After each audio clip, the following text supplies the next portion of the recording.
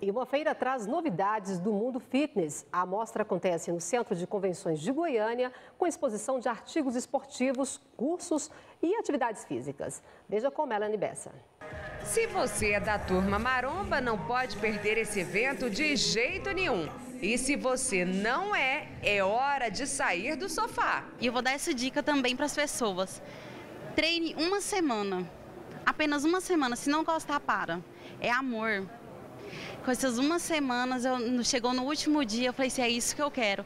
Até amanhã, Goiânia é a capital fitness do Brasil.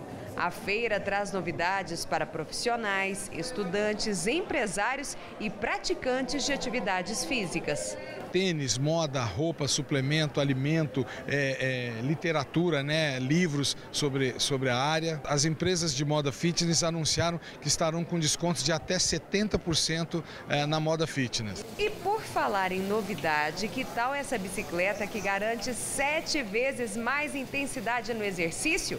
E é claro, perda de calorias? Durante todo o dia, cursos, aulões, campeonatos e feira de artigos esportivos, a feira acontece no Centro de Convenções e a entrada é gratuita. Coragem, deixa de preguiça, venha se exercitar.